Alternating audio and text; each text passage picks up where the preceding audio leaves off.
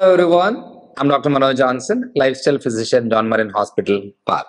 ഇനി നമ്മൾ ഡിസ്കസ് ചെയ്യാൻ പോകുന്നത് പല സാഹചര്യങ്ങളിലും നമുക്ക് ചിലപ്പോൾ നമ്മൾ ഉദ്ദേശിക്കുന്ന ഒരു പ്രശ്നമായിരിക്കത്തില്ല നമ്മുടെ ശരീരത്തിന് എന്നാലും നമ്മൾ പറയും എന്റെ കൊളസ്ട്രോൾ ലെവൽ അങ്ങ് കൂടിക്കൊണ്ടിരിക്കുകയാണ്. എന്നാൽ ഞാൻ ഭയങ്കരമായിട്ടും ഭക്ഷണം നിയന്ത്രിക്കുന്നുണ്ട് കറക്റ്റായിട്ട് എക്സസൈസ് ചെയ്യുന്നുണ്ട് എല്ലാ കാര്യങ്ങളും നോക്കുന്നുണ്ട്.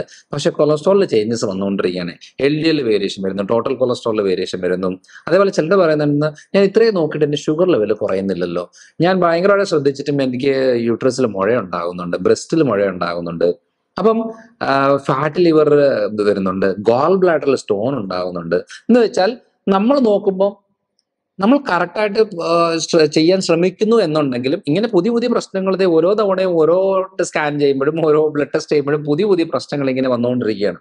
എന്താണ് അതിന് മെയിൻ ആയിട്ടുള്ള കാര്യം? അതായത് ഇത് നമ്മളിപ്പോൾ പറയുന്ന ഒരു ഇതും ഒരു റിസർച്ച് ബേസ്ഡ് ആയിട്ട് പോകുന്ന ഒരു കാര്യമാണ്. നമ്മൾ ഈ പറയുന്ന കണക്ഷൻസ് ഞാൻ പല വീഡിയോകളിൽ പറഞ്ഞിട്ടുണ്ട്. ഇതിന്റെ എല്ലാം റൂട്ട് കോസ് ആയിട്ട് കിടക്കുന്ന രണ്ട് മൂന്ന് കാര്യങ്ങളാണ്. അതായത് നമ്മുടെ ശരീരത്തിൽ ലിവറിനും കുടലിനും തൈറോയിഡിനും ഒക്കെ വേരിയേഷൻസ് വരുമ്പോഴാണ് നമ്മുടെ എൺപത് ശതമാനം പ്രശ്നങ്ങളും നമ്മുടെ ശരീരത്തിൽ ഉണ്ടാകുന്നത്. അപ്പൊ അതിന് റൂട്ട് കോസ് ഇന്റസ്റ്റൈൻ കുടലുമായിട്ട് ബന്ധപ്പെട്ടാണെന്ന് പറഞ്ഞാലും ഇതിന് മൊത്തം ഫങ്ഷൻസ് നടക്കണമെന്നുണ്ടെങ്കിൽ തൈറോയ്ഡ് എന്ന് പറയുന്ന ഒരു അവയവം നന്നായിട്ട് ആക്റ്റീവായിട്ട് പ്രവർത്തിച്ചെങ്കിൽ മാത്രമേ നടക്കത്തുള്ളൂ. പക്ഷെ തൈറോയ്ഡ് ആക്റ്റീവായിട്ട് പ്രവർത്തിച്ചിട്ടും കാര്യമില്ല. കാരണം ഈ നമുക്ക് ആകെ അറിയാം. പലരും നമുക്ക് അലർജി എന്നൊക്കെ ആരെങ്കിലും എന്ന് പറയുമ്പോൾ ഞാൻ പറയാം എന്നാൽ നമുക്ക് തൈറോയ്ഡ് ഒന്ന് ചെക്ക് ചെയ്യണം. പറയും. തൈറോയ്ഡ് ഒക്കെ ചെക്ക് ചെയ്ത്? ഞാൻ മിനിഞ്ഞാന്ന് പോലും ചെക്ക് ചെയ്തെന്ന് പറയും. അപ്പം നോർമലാന്ന് പറയും. അപ്പൊ ഈ T three T four T S H എന്ന് പറയുന്ന ടെസ്റ്റ് ആണ് നമ്മൾ എപ്പോഴും ചെയ്യുന്നത്. ഇതിനകത്ത് ടി ഫോർ എന്ന് പറയുന്ന ഒരു ഹോമോൺ എന്ന് പറയുന്നത് അതാണ് നമ്മളിപ്പം ഈ തൈറോയ്ഡ് ഹോമോൺ അങ്ങനെയൊക്കെ പറയുന്ന എടുക്കുന്ന ഒരു കാര്യം തന്നെ മരുന്നുകളായിട്ട് തൈറോയിഡ് മെഡിസിൻ ആയിട്ട് എടുക്കുന്ന ആളുകൾ തന്നെ എടുക്കുന്നത്. ഈ ടി ഫോർ എന്ന് പറയുന്ന ഒരു ആക്റ്റീവ് ഫോം അല്ല ഒരു ഇനാക്റ്റീവും അല്ല. പക്ഷെ ആക്റ്റീവ് ആകാനായിട്ട് ഉള്ള കൺവേർട്ട് ആകാൻ റെഡി ആയിട്ടിരിക്കുന്ന ഒരു ഹോർമോണാണ് ടി ഫോർ എന്ന് പറയുന്നത്. പക്ഷേ പലരും ശ്രദ്ധിക്കാറില്ലേ? ഞാൻ കറക്റ്റായിട്ട് തൈറോയിഡിന് മരുന്ന് എടുക്കുന്നുണ്ട്. പക്ഷേ എന്റെ പ്രശ്നങ്ങൾ ഒരു പരിധി കൂടുതൽ കുറയുന്നില്ല. എനിക്ക് വെയിറ്റ് കൂടുന്നു മുടി കൊഴിച്ചിൽ ഉണ്ടാകുന്നു സ്കിന്നിന്റെ പ്രശ്നം വരുന്നു ടെൻഷൻ കൂടുന്നു ദഹന ബുദ്ധിമുട്ടുണ്ടാകുന്നു ജോയിൻസിനും മസിൽസിനെല്ലാം വേദന വരുന്നു ഉറക്കം ക്ലിയർ ആകുന്നില്ല. അലർജി രാവിലെ എഴുന്നേറ്റുള്ള തുമ്മൽ വെയിലടിച്ച പ്രശ്നം തണുപ്പടിച്ച പ്രശ്നം പൊടിയടിച്ച പ്രശ്നം എല്ലാം ഉണ്ട്. പക്ഷെ തൈറോയിഡും കുഴപ്പമില്ല. നോർമലാണ് കാരണം മരുന്ന് എടുക്കുന്നുണ്ട്. അപ്പോൾ അറിയേണ്ട ഒരു കാര്യം. എങ്ങനെയാണ് നമ്മൾ ഗട്ട് തൈറോയ്ഡ് അതായത് കുടലും തൈറോയിഡും തമ്മിലുള്ള കണക്ഷൻ എന്താണ്? തൈറോയിഡും ലിവറും തമ്മിലുള്ള കണക്ഷൻ എന്താണ് എന്നുള്ളതാണ് നമ്മൾ ആദ്യം അറിയേണ്ടത്. നമുക്ക് എങ്ങനെയാണ് നമ്മളൊക്കെ ഒന്നും നോക്കാതെ എത്ര ശ്രദ്ധിച്ചാലും കൊളസ്ട്രോൾ ലെവൽ കൂടുന്നു എന്ന് പറഞ്ഞാൽ ഈ തൈറോയ്ഡ് എന്ന് പറയുന്ന ഒരു അവയവം പ്രോപ്പറായിട്ട് പ്രവർത്തിക്കുന്നില്ല എന്നുണ്ടെങ്കിൽ ടെസ്റ്റുകളിലൊക്കെ നോർമൽ ആയിരിക്കും. പക്ഷേ കൊളസ്ട്രോൾ ലെവൽ കൂടും. അതായത് cholesterol triglyceride L D L എന്ന് പറയുന്ന ഒരു രീതി നോക്കിക്കഴിഞ്ഞാൽ ട്രൈഗ്ലിസറൈഡ് കൂടിയിരിക്കുന്ന കണ്ടീഷൻ എന്ന് പറഞ്ഞു കഴിഞ്ഞാൽ അതിന് ഒന്നാം പാരമ്പര്യം അത് കുറച്ചേ സാധ്യതയുള്ളൂ. പക്ഷെ ഭൂരിഭാഗവും നമ്മൾ കഴിക്കുന്ന ഹൈ കാലറി ഡയറ്റാണ് അത് പൊതുവെ അത് കൂടുതൽ എടുത്തിട്ട് എല്ലാ കൂടുതൽ കൊളസ്ട്രോൾ എൽ കൂടുതലുണ്ടെങ്കിൽ നമ്മൾ ഡയറ്റും കാര്യങ്ങളൊക്കെ സ്ട്രിക്റ്റ് ആയിട്ട് ശ്രദ്ധിച്ചാൽ തന്നെ ഓട്ടോമാറ്റിക്കായിട്ട് അത് കുറഞ്ഞു വരും. ചില കണ്ടീഷനിൽ ട്രൈഗ്ലിസൈഡ് ഒരു കൺട്രോൾ ആയിട്ട് നിൽക്കും കൊളസ്ട്രോൾ ലെവലും എൽ ഡി ലെവലും കൂടുമ്പോൾ അതിലും പാരമ്പര്യ കണക്ഷൻ ഉണ്ട്. പക്ഷെ അതേപോലെ തന്നെ തൈറോയ്ഡ് കണക്ഷനും വളരെ കൂടുതലാണ്. അതായത് എന്തിനാണ് നമ്മുടെ ബ്ലഡ് റിപ്പോർട്ട് നോർമൽ ആയാലും നമ്മൾ ക്ഷീണം മാറാത്തത് ബുദ്ധിമുട്ട് മാറാത്തത് എന്ന് പറഞ്ഞാൽ അതായത് ടി ഫോർ എന്ന് പറയുന്ന ഒരു ലിവറിൽ വന്നിട്ട് ടി ത്രീ ആയിട്ടുള്ള ആക്റ്റീവ് ഫോമിലേക്ക് കൺവേർട്ട് ആയിട്ട് ഈ ടി ത്രീ എന്ന് പറയുന്ന ആക്റ്റീവ് ഫോമാണ് നമുക്ക് എല്ലാ ശരീരത്തിന്റെ തൈറോയിഡിന്റെ ഫങ്ഷൻസ് നടത്തുന്നത്. അപ്പോ ഈ ടി ത്രീ ആയിട്ട് കൺവേർട്ട് ആകുന്നത് ആരും ടെസ്റ്റ് ചെയ്യുന്നൊന്നുമില്ല. നമ്മൾ ബ്ലഡിലുള്ള ടി ഫോർ ലെവൽ എത്ര എന്നുള്ളത് മാത്രം നോക്കും എന്നുള്ളതല്ലാതെ ഈ കൺവേർഷൻ നടക്കാത്തതിന് കൊണ്ടാണ് നമ്മുടെ പ്രശ്നങ്ങൾ മാറാത്തത്. ഈ കൺവേർഷൻ നടക്കാത്തതിന്റെ കാര്യം എന്താ? ഫാറ്റ് ലിവർ ആണ് ഇതിന്റെ മെയിൻ കാര്യം. പലപ്പോഴും നേരത്തെ ഞാൻ ശ്രദ്ധിച്ചിട്ടുള്ള കാര്യമായിരുന്നു. പണ്ടൊക്കെ ഞാൻ ഈ ഫാറ്റ് ലിവറിനെ കുറിച്ച് പറയുന്ന സമയങ്ങളിൽ ഭൂരിഭാഗം സാഹചര്യങ്ങളിലും ഇപ്പം ഡോക്ടേഴ്സ് ആയാലും ആരായാലും പറയുന്നത് വെച്ചാൽ ഫാറ്റ് ലിവർ കുഴപ്പമില്ല ഫാറ്റ് ലിവർ കുഴപ്പമില്ല. അപ്പം കാരണം എന്താ വെച്ചാൽ അത് എല്ലാവർക്കും ഉള്ളതല്ലേ? ഗ്രേഡ് വൺ എല്ലാവർക്കും ഉള്ളതല്ലേ? ഗ്രേഡ് ടു എല്ലാവർക്കും ഉള്ളതല്ലേ? ഗ്രേഡ് ത്രീ എന്നാ ഒന്ന് ശ്രദ്ധിച്ചാൽ മതി. അങ്ങനെയുള്ള രീതിയിലാണ് കാര്യങ്ങൾ പോകുന്നത്. അപ്പം അങ്ങനെ പൊക്കോണ്ടിരുന്ന സമയത്ത് നിന്ന് ഇപ്പോൾ ഗ്രേഡ് വൺ ഫാറ്റ് ലിവർ എന്ന് പറഞ്ഞാൽ ഇപ്പൊ എല്ലാ ഡോക്ടേഴ്സും എല്ലാ ആൾക്കാരും പറയാൻ തുടങ്ങി. ശ്രദ്ധിക്കണം ശ്രദ്ധിക്കണം കാരണം എന്ന് വെച്ചാൽ ലിവറിനാണ് ഇപ്പൊ ആദ്യം പണി കിട്ടുന്നത്. ലിവറിനാണ് ഒട്ടും പണി കിട്ടാൻ പാടില്ലാത്ത അവയവം. അവിടെ തന്നെ ഏറ്റവും കൂടുതൽ പ്രശ്നം ഏതിന്റെ കാര്യം ആദ്യ സാഹചര്യങ്ങൾ ഫാറ്റ് ലിവർ ഉണ്ടെങ്കിൽ ഷുഗർ കൺട്രോൾ നിൽക്കത്തില്ല ഷുഗർ ഉണ്ടാകും. ഫാറ്റ് ലിവർ ഉണ്ടെന്നുണ്ടെങ്കിൽ തൈറോയ്ഡ് ബുദ്ധിമുട്ടുകൾ ഉണ്ടാവും അപ്പോൾ ഫാറ്റ് ലിവർ എന്ന് പറയുന്നത് ടി ഫോർ ഉള്ളതിനെ ടി ത്രീ ആയിട്ട് കൺവേർട്ട് ചെയ്യാനായിട്ട് ലിവറിന്റെ കപ്പാസിറ്റി കുറയുമ്പോഴാണ് നമ്മുടെ പ്രശ്നങ്ങൾ കൂടുന്നത്. അതായത് വെയിറ്റ് കൂടിക്കൊണ്ടിരിക്കും മുടി കൊഴിഞ്ഞുകൊണ്ടിരിക്കും ക്ഷീണം വരും നീർക്കെട്ടുണ്ടാവും ദഹനം കറക്റ്റ് ആവില്ല?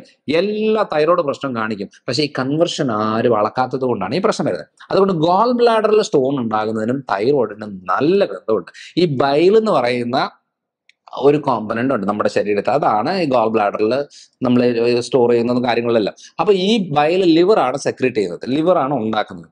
ഇത് ഈ ബയലാണ് നമ്മുടെ ഫാറ്റിനെ ഡിവൈഡ് ചെയ്യുന്നതും ഡൈജഷൻ ക്ലിയർ ആക്കുന്നതും ഒത്തിരി പണി ചെയ്യുന്നത്. പക്ഷെ ഈ ബയൽ പ്രോപ്പറായിട്ട് പ്രൊഡക്ഷൻ നടക്കണമെന്നുണ്ടെങ്കിൽ തൈറോയ്ഡ് വിചാരിക്കണം. അപ്പൊ നാലോചിച്ച് നോക്കിയാൽ നമ്മൾ ഈ തൈറോയിഡും ലിവറും തമ്മിൽ നല്ല കണക്ഷൻ ഉള്ള ഒരു അവയവങ്ങളാണ്. ഇതേപോലെ ലിവറും കുടലുമായിട്ട് നല്ല കണക്ഷൻ ഉണ്ട്. അപ്പം ലിവർ കുടൽ തൈറോയ്ഡ് ഇത് മൂന്നും കണക്റ്റഡ് അവയവങ്ങളാണ്. അല്ലാതെ എന്റെത് ഇത് മാത്രമാണ് എന്ന് പറഞ്ഞ് ഇരുന്ന് കഴിഞ്ഞാൽ ഒരിക്കലും നമുക്ക് അതിനൊരു റിസൾട്ട് കിട്ടത്തില്ല. ദഹന ബുദ്ധിമുട്ടുള്ളവർക്ക് ലിവറിന് പ്രശ്നം കാണും. ലിവറിന് പ്രശ്നമുള്ളവർക്ക് തൈറോയ്ഡ് പ്രശ്നം കാണും. തൈറോയ്ഡ് പ്രശ്നമുള്ളവർക്ക് ഈ രണ്ട് അവയവങ്ങൾക്കും പ്രശ്നം കാണും. അതുകൊണ്ട് ഗോൾ ബ്ലാഡർ സ്റ്റോൺ ഉണ്ടെന്നുണ്ടെങ്കിൽ ആദ്യം നമ്മൾ ക്ലിയർ ആക്കേണ്ടത് തൈറോയ്ഡ് പ്രശ്നങ്ങൾ ഫുള്ളായിട്ട് ക്ലിയർ ആകുക എന്നുള്ളതാണ്. മരുന്ന് കഴിക്കുവോ കഴിക്കാതിരിക്കുവോ ബ്ലഡ് ടെസ്റ്റുകൾ നോർമൽ ആയിരിക്കുവോ എന്നുള്ളതിലല്ല കാര്യം. ഫാറ്റ് ലിവർ ക്ലിയർ ആവണം തൈറോയ്ഡ് ഗ്ലാൻഡ് പ്രോപ്പറായിട്ട് ഫങ്ഷനിങ് ആവണം. എപ്പോഴൊക്കെയാണ് ഈ പ്രശ്നങ്ങൾ വരുന്നത്? അതായത് കുടലിലെ ഗട്ട് മൈക്രോബ്സ് അതായത് നല്ല ബാക്ടീരിയകൾ പ്രോപ്പറായിട്ട് വേണം. ഫാറ്റ് ലിവർ കൺട്രോൾ ആയിട്ട് നിൽക്കണം തൈറോയ്ഡ് ആക്റ്റീവ് ആയിട്ട് ആക്റ്റീവ് ഫോം ആയിട്ട് ഫങ്ഷനിങ് ആവണം അതിന് ചെയ്യേണ്ട കാര്യം എന്ന് വെച്ചാൽ ലോ കാബ് ഡയറ്റ് ആണ് നമ്മൾ മെയിൻ ആയിട്ട് വേണ്ടത്. ലോ കാബ് എന്ന് പറയുന്നത് നമ്മൾ ഗ്രെയിൻസ് കൂടുതലായിട്ട് കഴിച്ചുകൊണ്ടിരുന്നു കഴിഞ്ഞാൽ ഈ മൂന്ന് പ്രശ്നക്കാർക്ക് വീണ്ടും വീണ്ടും വീണ്ടും വീണ്ടും അതാ ഞാൻ നേരത്തെ പറഞ്ഞത്. എനിക്ക് നേരത്തെ ഫാറ്റ് ലിവർ മാത്രമേ ഉള്ളൂ. ഇപ്പോൾ ദേ തൈറോയ്ഡ് തുടങ്ങി. പിന്നെ ദേ യുട്രസിൽ മുഴ തുടങ്ങി. ഇപ്പോൾ ദേ വെരിക്കോസ് തുടങ്ങി. എനിക്ക് ബ്രസ്റ്റിൽ മുഴ തുടങ്ങി. അതേപോലെ തന്നെ ഡയബറ്റിക് അതായത് പ്രമേഹ പ്രശ്നങ്ങൾ തുടങ്ങി. ഈ ഈ പറയുന്ന കാര്യങ്ങൾക്ക് ആദ്യം പെൺകുട്ടികൾക്കാണെന്നുണ്ടെങ്കിൽ പി സി ഡി ആണ് ആദ്യം തുടങ്ങുന്നത്. അപ്പൊ ഈ പറയുന്ന കണക്ഷൻസ് എല്ലാം ഒരേ ട്രാക്കിൽ പോകുന്ന ആയതുകൊണ്ട് ഒരെണ്ണം വന്നു കഴിഞ്ഞാൽ ഈ നാലഞ്ചെണ്ണം ഉറപ്പായിട്ടും വരും. അതിന് വലിയ അത്ഭുതമൊന്നുമില്ല. പക്ഷെ എനിക്ക് എങ്ങനെ ഷുഗർ വന്നു എന്ന് പറഞ്ഞ വെച്ചാൽ നമ്മൾ നോക്കിയിരിക്കേണ്ട ആവശ്യമില്ല. അതിനേക്കാളും പത്തും ഇരുപതും കൊല്ലത്തിന് മുമ്പ് തന്നെ നമുക്ക് ഫാറ്റ് ലിവർ പ്രശ്നങ്ങളും കാര്യങ്ങളും എല്ലാം വരും. അപ്പോൾ ആരും പോയിട്ട് ഹാർട്ടിന്റെ ബ്ലോക്ക് ഉണ്ടോ നോക്കത്തില്ല. ബ്ലോക്കും ഇതിന്റെ ആഫ്റ്റർ എഫക്റ്റ് ആയിട്ട് വരുന്ന ഒരു കാര്യമാണ്. അപ്പൊ നമ്മൾ അറിഞ്ഞിരിക്കേണ്ട ഒരു കാര്യം എന്ന് വെച്ചാൽ ഈ പറയുന്ന അവയവങ്ങളുടെ പ്രശ്നങ്ങൾ നമുക്ക് ഈ പറഞ്ഞ ബുദ്ധിമുട്ടുകളൊക്കെ നമുക്കുണ്ടെങ്കിൽ നമ്മൾ ചെയ്യേണ്ട കാര്യം ഒന്ന് അത് വെബ് വെബ്സൈറ്റിലുണ്ട് മനോജ് ജോൺസൺ ഡോട്ട് കോം വെബ്സൈറ്റിനകത്ത് ഡയറ്റ് ചാർട്ട് ഉണ്ട്. അതിനകത്ത് ലോ കാർബ് ഡയറ്റ് അല്ലെങ്കിൽ ഗ്രെയിൻ ഫ്രീ ഡയറ്റ് എന്ന് പറയുന്ന ഒരു ഡയറ്റ് ആണ് നമ്മൾ ഇതിനകത്ത് ആദ്യം ഫോക്കസ് ചെയ്യേണ്ടത്. അതിനകത്ത് എന്നാ പറയുന്നത് വെച്ചാൽ നമ്മൾ ഈ ദോശ ഇഡ്ഡലി അപ്പം പുട്ട് ചപ്പാത്തി പൊറോട്ട ബേക്കറി സാധനങ്ങൾ ഫ്രൈഡ് ഐറ്റംസ് എന്നൊക്കെ പറയുന്ന സാധനങ്ങളെല്ലാം ഉണ്ട്. ഇതിനെല്ലാം ഒന്ന് ചുരുക്കി എടുക്കണം ഇത്രയും അളവിൽ നോർമൽ അളവിൽ അത് എടുക്കാൻ പറ്റത്തില്ല.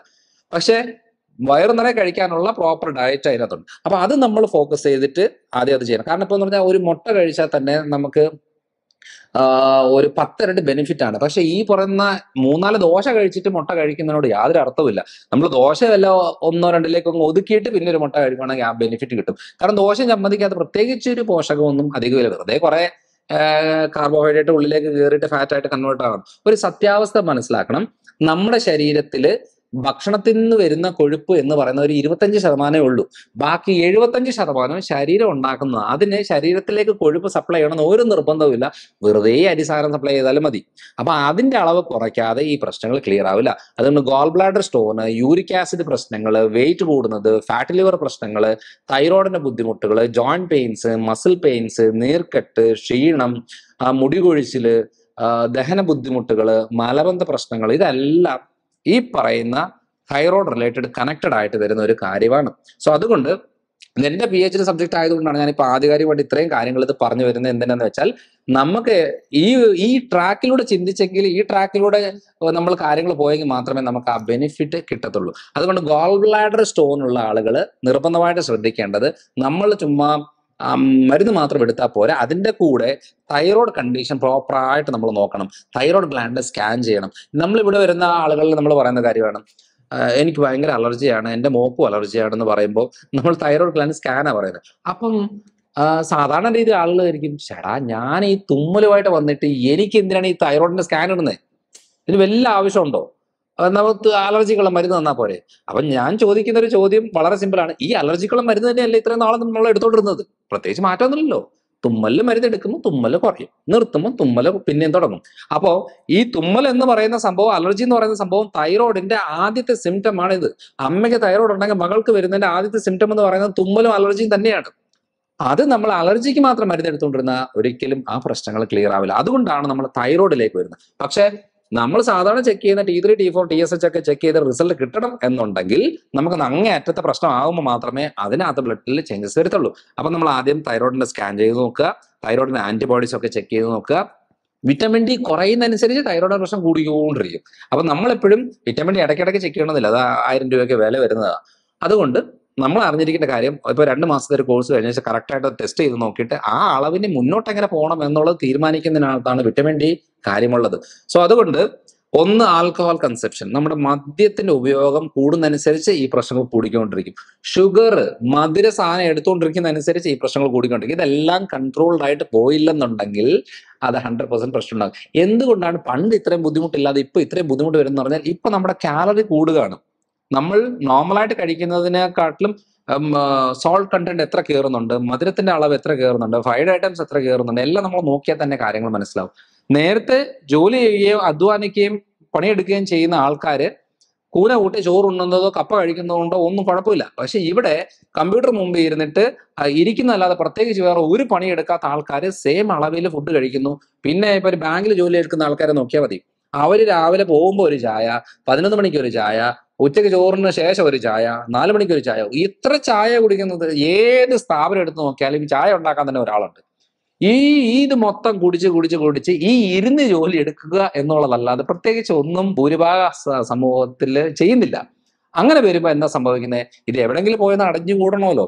ആ കാര്യത്തിൽ പക്ഷേ എന്തായാലും ഒരു സന്തോഷ വാർത്ത എന്താണെന്ന് വെച്ചാൽ ഇപ്പോഴത്തെ ഒരു യങ് ജനറേഷന് ഇപ്പൊ ഒരു സർവേയിൽ പറയുന്നത് ഏറ്റവും കൂടുതൽ ആപ്പ് മൊബൈൽ ഫോണിൽ യങ്സ്റ്റേഴ്സിന്റെ മൊബൈൽ ഫോണിലുള്ളത് ഇതേപോലത്തെ ഹെൽത്തി ഹെൽത്തി ആയിട്ടുള്ള ഡയറ്റിന്റെതും ഫിറ്റ്നസിന്റെതും ഒക്കെയുള്ള ആപ്പുകൾ ഇപ്പം ഫിറ്റ്നസ് ബാൻഡുകളും വാച്ചുകളും ഒക്കെ കെട്ടിയിട്ട് യങ് ജനറേഷൻ നടക്കാൻ തുടങ്ങി. അപ്പം മനസ്സിലായി? നമുക്ക് എത്ര പൈസ ഉണ്ടായാലും എത്ര മരുന്നുണ്ട് എത്ര ആശുപത്രി ഉണ്ട് എത്ര ഡോക്ടർമാർ ഡോക്ടർമാരുണ്ടെന്ന് പറഞ്ഞിട്ട് കാര്യമില്ല. നമ്മൾ മെനക്കെടാനുള്ളത് നമ്മൾ മെനക്കെട്ട് ചെയ്തെങ്കിൽ മാത്രമേ കാര്യമുള്ളൂ.